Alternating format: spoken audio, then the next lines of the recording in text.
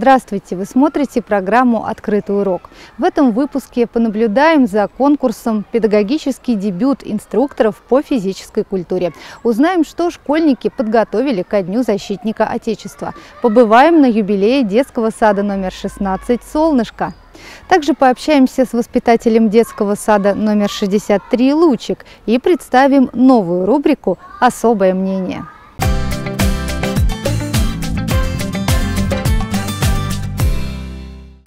Щелковские педагоги не устают соревноваться в мастерстве. В районе проходит масса конкурсов, выявляющих талантливых педагогов, нестандартно подходящих к своей работе. Сегодня в учебно-методическом образовательном центре собрались инструкторы по физической культуре. Здесь проходит второй тур конкурса «Педагогический дебют». Почему дебют? Да потому что для узких специалистов такой конкурс проходит впервые. Инструкторы физкультурники в детских садах решили, что накопили много опыта и сами вышли с инициативой посоревноваться. Первый этап – это массовый для двух команд эстафета – в этих эстафетах было несколько заданий, были теоретические задания, и команда, которая набрала наибольшее количество баллов по положению, которое мы сделали, она вышла победителем. И сегодня они принимают участие во втором туре. Второй тур состоит у нас из двух конкурсных мероприятий. Первое – это предоставление опыта работы, и э, второе – это мастер-класс. Прежде всего, представление опыта. Каждый из девяти участников, а именно столько вышли во второй тур, рассказывают о наиболее интересной и прогрессивной методике – примеру, Маргарита Афанасьева объяснила пользу детского фитнеса. Они любят играть. Это все должно происходить в форме такой игровой, музыкальной, ярко-красочной, интересной, с какими-то стихами, шутками, прибаутками и так далее. Это и отличает э, занятие детским фитнесом. Это укрепление здоровья, укрепление мышечного корсета, профилактика э, плоскостопия, профилактика и коррекция осанки. Красивым спинкам и крепким мышцам деток уделяет внимание и Екатерина Антошкина. По мнению инструктора по физической культуре детского сада номер 42 «Солнышко», дети должны испытывать так называемую мышечную радость. В работе педагог тоже придерживается принципа игры, чтобы физкультура была в удовольствие. И все ради главной цели. Если нельзя а, вырастить ребенка совершенно здоровым, чтобы он не болел, то поддержать а, здоровье ребенка вполне возможно также используя физкультурно-оздоровительные технологии. Инструктор детского сада «Лучик» Анна Спирина рассказала о еще одной интересной оздоровительной технологии – игровом стретчинге. Проще говоря, это статическая растяжка мышц, причем абсолютно безопасная для детей любого возраста. Спорт – это не только физические упражнения, но это и музыка, и актерское мастерство, то есть это многогранно. Вот стретчинг, он в этом плане в себе все очень хорошо совмещает. Любая группа по возрасту подходит. То есть нет ограничений, можно подобрать упражнения, с которыми справятся и маленькие, и постарше. И плюс ко всему э, нет таких показателей по здоровью. Особая задача перед сотрудниками детского сада номер 18 «Росинка» компенсирующего вида. Для деток с ограниченными возможностями здоровья физкультура очень важна. Представлении своего опыта работы инструктор Ольга Юдичева рассказала о степ-аэробике и других методах оздоровления. Мне хочется, чтобы дети занимались спортом. Хотелось бы им дать больше, чтобы они смогли себя реализовать. В своей работе я использую занятия в игровой форме а, с различными предметами, с атрибутами, а, игры эстафеты, а, упражнения и аэробика на степ-платформах. Что ж, форм работы с детьми множество. Каждый из участников конкурса старается найти оптимальное сочетание физической нагрузки и игры, что укрепляет здоровье маленьких воспитанников и повышает их настроение. Совсем скоро закончится второй тур конкурса «Педагогический дебют», а имена победителей и призеров узнаем на финале районного конкурса «Педагог года».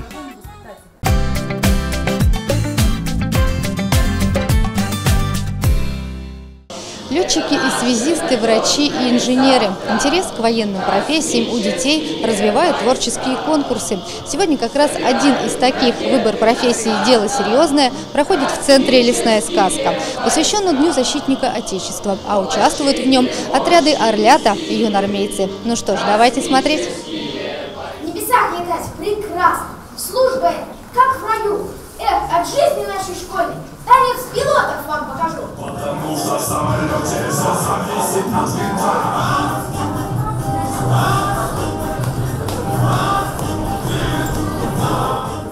Пилоты, танкисты, связисты, десантники. Профессии важные и отважные. А какое уважение вызывает у подрастающего поколения. И ребята доносят это до зрителей. Своими выступлениями школьники словно говорят, мы понимаем, кто настоящий защитник Отечества. Медсестра, она важна тем, что если кто-то поранился, не потерял, например, много крови при ранении, чтобы его быстро перевязали, чтобы человеку помочь, чтобы ему было не больно. Космонавты важны тем, они могут видеть самолеты вражеские, которые нападают на страну при помощи радаров. Также изучают много на международных космических станциях. Разведчица раскрывает тайны врагов своих, помогает всем тем, кто защищает свою родину. Участие в конкурсе дает знания, заставляет задуматься. Вот на сцене ребята из школы номер 4. Для них выступление уж точно не для галочки. Изучая профессии, рассуждают, а как это поможет в будущем? Мне это участие дало понятие, что армия – это целый военный коллектив, состоящий из тысяч, а то и миллионов человек, которые стремятся защищать свою страну свою родину. Если надо будет, защитим свою страну. Когда надо будет, мы э, вступим даже в бой, может. Лесная сказка часто принимает на сцене агит-бригады, но юнормейцы и орлята в таком формате соревнуются впервые. Сюда приехали больше 40 отрядов из 26 школ района. Активистам дает шанс развиваться творчески и патриотически районная программа «Сыны Отечества». Нашим ребятам нравится работать в этом проекте. Они представляют наш Волковский район и на областных и всероссийских конкурсах. Ребятам очень нравится. В этом году очень много поступило ребят и даже девочек в военное училище. То есть вот наш проект помогает э, ребятам реализовать свои э, какие-то мечты именно вот при выборе военной профессии. И некоторые из участников конкурса уже твердо решили, что судьбу свяжут с военной профессией. Старшеклассники делятся планами. Я в будущем хочу связать свою жизнь с МЧС России, поэтому ну, мне интересно. Всегда, когда видишь человека военного, сразу ты начинаешь гордиться своей страной. И также хочется связать свою жизнь с военным делом. Я поступлю в летное училище. В дальнейшем хочу связать свою жизнь с этим. Такие стремления вполне объяснимы. Жюри отмечает, в ребятах есть запал, им все интересно. И для них выбор профессии – дело действительно серьезное. Ребята готовились, ребята старались, ребята э, какие-то костюмы у них необыкновенные, голоса очень звонкие, такие вот добрые. И намерения у них добрые. Самое главное, что ребята идут к нам, и у них пока еще есть такой запал. Они хотят свою родину защищать. Они себя видят в военной профессии, летчиками, космонавтами, танкистами. Но это хорошо, наверное, что наша родина без защиты не останется. застава по страны.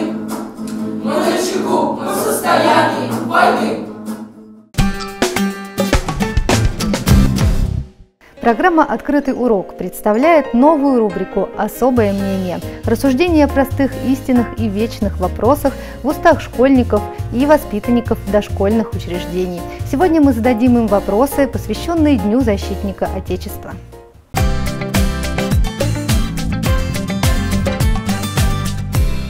Родина для меня – это место, где я родилась, где я много знаю – это место, откуда я не хочу уезжать никогда. Наша земля. Существует не одна родина. Может существовать несколько. Например, место, где ты родился, и место, где ты живешь. Еще может быть место, где тебе нравится. Это то, где я родился, где я живу, много еще неизведанного. В России очень много разных, ну как бы это объяснить, нефти, например. Она родная родина.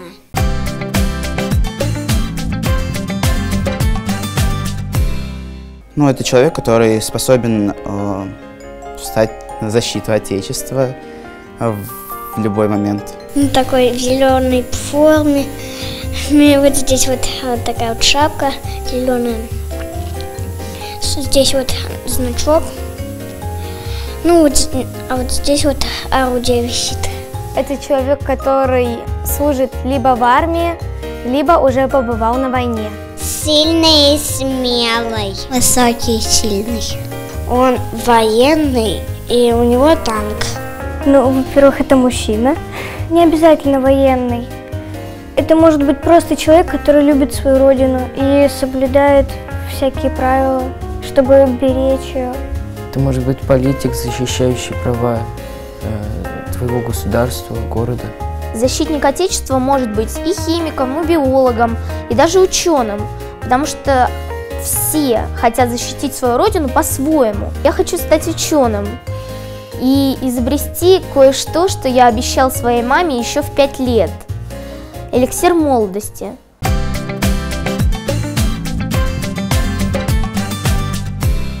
Когда человек уважает свою родину и обязательно навещает, любит. Чувство гордости за ветеранов, за то, что они защитили нашу страну и дали жизнь нам. Умение помогать ближнему, умение отстоять свою позицию, имение собственного мнения. Патриотизм для меня – это любовь к своей родине, к России, к всему, что тут есть. Независимо от того, плохо это или хорошо, и в каком бы состоянии ни находилась страна.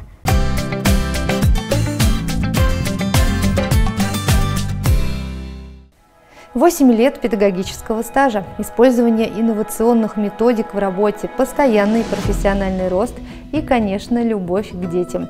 Сегодня мы снова в детском саду номер 63 «Лучик», а расскажем о талантливом воспитателе Наталье Фридленд. Каков путь педагога? Любовь к этой удивительной профессии, как правило, зарождается в детстве, когда есть перед глазами достойный пример. Так случилось и в жизни Натальи Фридленд. В общем-то, я всегда хотела быть педагогом и именно воспитателем в детском саду. Я родилась в небольшом городке и ходила в детский сад. У нас был очень хороший маленький детский сад, две группы, чудесные воспитатели. И, в общем-то, того времени желание. Наталья родилась в Калининградской области, в городе Балтийск, в семье военного. Сквозь детство и юность пронесла свое стремление связать жизнь с работой с детьми. Ну а дальше поступила в педагогический вуз. Пошла учиться на учителя начальных классов. Мне тогда казалось, что это очень близко. Но так получилось, что ни дня в школе я не работала. Закончив, получив диплом на руки, я сразу пошла работать в детский сад. Сразу была большая группа с очень маленькими сложными детьми. Я чувствовала свою некоторую растерянность. В силу возраста они не могут объяснить, что же они хотят. И вот, вот я стою такая большая и беспомощная на самом деле. Оказывается, что не, ну, конечно, проработав немножко, уже понимаешь детей. Дети приняли молодого педагога, а Наталья, понимая свою миссию, пыталась быть каждому мамой. Педагогический талант воспитателя развивался и в нашем районе. Наталья вышла замуж за военно-морского офицера и вскоре оказалась в Щелковском районе. Сначала работала в детском саду номер 55, затем перешла в Лучик. На счету Натальи Фридленд множество заслуг, победа в конкурсе «Педагог года». Коллеги и родители радуются успехам воспитателя и ценят ее опыт. Есть люди, которые родились с сознанием того, что они должны творить что-то достойное и очень нужное в этой стране. И как раз этот педагог, который всю свою душу, всю свою заботу, внимание, знания старается отдать сегодняшнему подрастающему поколению. Вообще в нашей работе, наверное, существует такой один большой критерий оценки деятельности. Любят тебя дети или нет. И это очень объективный критерий. Если посмотреть, как они бегут к ней, как они радуются, как они встречают ее, то, конечно, Наталья Валерьевна находится абсолютно на своем месте. Она хорошая. Наталья Валерьевна добрая. Добрая, как мама. Она красивая и любит нас. Мы ее тоже очень любим. Отзывчивая, понимающая, любящая детей, всегда с новыми идеями, каждый день с хорошим настроением. Наталья использует в работе инновационные методики, проходит курсы повышения квалификации. И главный результат – интересное и счастливое детство воспитанников Лучика. Мы с ней занимаемся, играем в игры, рисуем, красим. Она помогает нам объясняет, как что делать, а мы делаем. Мы с ней гуляем, книжки читаем. Она еще хорошо прически делает. Читает всегда нам сказки перед сном, чтобы мы заснули. Мы Наталью Ваевну уважаем, она нас, он нас помогает, и мы слушаемся. Наталья воспитывает сына. Она активно и пробует что-то новое. Необычное хобби вызывает уважение. На ее счету прыжок с парашютом, стрельба из лука, поездки в Сибирь. Семья Фридленд любит путешествовать. И именно такие люди, активные и живые, воспитывают наше подрастающее поколение. Я люблю детей.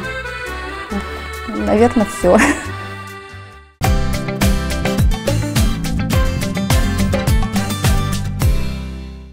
55 лет. Это много или мало? С одной стороны, для детского сада это целая жизнь, огромное количество выпускников. Но с другой, несмотря на солидный возраст, детский сад молод всегда. Потому что всегда здесь слышны детские голоса, потому что работают здесь не стареющие душой педагоги. В сегодняшней рубрике из истории мы поздравляем с юбилеем детский сад номер 16 «Солнышко». Ярко светит солнышко, а его лучики согревает уже больше полувека. Большой юбилей и много разных событий на пути. Прямо накануне нового 1961 года открыл свои двери садик, тогда номер два. В 1963 получил привычный номер 16. В 1998 году «Солнышко» приобрело свой логопедический профиль, и сейчас вся работа педагогов подчинена одной главной цели – Наш весь детский сад работает э, над одной задачей. Это речевое развитие, это самая главная задача. Это развитие социально-коммуникативное, это физическое развитие, это естественно художественно-эстетическое развитие. И все это как кулак – вот пальцы сжатые в одном кулаке. Логопеды проводят индивидуальное занятие, подгрупповое занятие и фронтальное занятие. Фронтальное занятие как обучение грамоте детей и развитие речи. А специалисты, инструктор физкультуры вместе по взаимосвязи с логопедом уже проводят свои занятия и решают свои задачи. Также специалисты и воспитатели, и специалисты другие, музыкальный руководитель и преподаватели за студии работают над одной темой. Сегодня «Солнышко» состоит из четырех групп. Это 93 ребенка. Как же светят эти маленькие лучики? Нам было очень интересно, и мы отправились посмотреть, чем живет «Солнышко». Закаляем горлышко, еще раз, вдох. Утро начинается с зарядки. Ножками потопали, ручками похлопали, а заодно и решили задачи, связанные с логопедией. Ведь речь, она на кончиках пальцев. Поэтому каждое движение здесь осмысленно. Ну а детям очень нравится такая физкультура. Мы играем в хоккей, мы катаемся на тележках, мы ездим на лыжах чтобы быть здоровыми, чтобы быть сильными. Мне нравится, что мы закаляемся. Мне нравится зарядка, потому что она подвижная, веселая и делает хорошее настроение. Ну что ж, настроение есть, сил полно. Теперь можно и на занятия отправляться. Садик логопедический, а потому занятий с логопедами много. И индивидуальные, и групповые, и фронтальные. Подход у каждого свой. К примеру, Ольга Захарова использует комплекс так называемых нейропсихологических упражнений. Такая наука помогает ребятам снять речевые барьеры и, конечно, готовит к будущей школьной жизни. Я умею читать и писать. А вот этим малышам может читать и писать еще рановато. Зато как они усвоили урок наблюдения «Огород на окне». Юные аграрии удивили нас своими знаниями. Что у вас растет? в огороде? Огурчики, горошки, фасоль тоже. И все растет лук. Микробы убивают. Там витаминки. Мы большие будем. Вот видно, ребята овощи кушают и витаминки получают, так что теперь занимаются настоящими экспериментами. Я люблю проводить опыты и играть, чтобы знать много интересного. Солнышко – это, конечно, развивающие игры и творчество во всех его проявлениях. Мы заглянули в за-студию и застали интересное занятие. Мы занимаемся лепкой, рисованием. Сейчас мы делаем цветы для мам. Шерстяная акварель. Красная шапочка. Здравствуйте. А куда ты идешь? Я тут к бабушке несу пирожки, горшочек масится. А вот тут в ход пошли театральные навыки. Средняя группа сыграла для маленьких отрывок из сказки «Красная шапочка». И те, и те посмеялись от души, ведь, кажется, в солнышке ни один день не проходит без улыбки.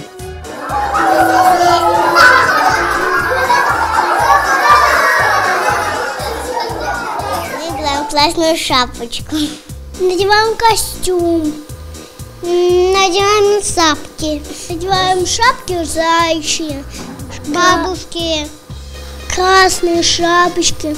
Ну, как вы уже догадались, сам юбилейный вечер прошел тепло, солнечно и душевно. Вспоминали многое, как родился детский сад, как стал логопедическим, как становился лучшим в России. Но главное, с какой любовью трудятся здесь и трудились всегда педагоги. Вами здесь все создано, это коллектив, это атмосфера. Вами здесь и дальше пишется история. Но, наверное, самое главное, сколько бы лет не было, 55, 150, вы здесь работаете ради вот того поколения, которое начинает расти. Вложена, конечно, душа каждого человека, которые начинали этот исторический путь этого учреждения и которые продолжают этот путь сегодня. Поздравляем и мы, солнышко, и пусть оно сияет еще долгие-долгие годы. Я желаю своему садику здоровья, счастья и удачи. Чтобы он всегда был большой и крепкий. Солнышко. Свет. А мы любим навсегда, что садик был хорошим, чтобы ему солнышко горело. Еще чтобы он улыбался. Своему солнышку 55 лет я желаю, чтобы оно всегда светило, как сегодня сказали дети, чтобы а, мечтали наши сотрудники, чтобы мечтали родители, чтобы мечтали дети, и чтобы мечты их сбывались. С вами была Наталья Медведева и программа «Открытый урок». Вместе с нами следите за важными событиями в районном образовании. До встречи в эфире!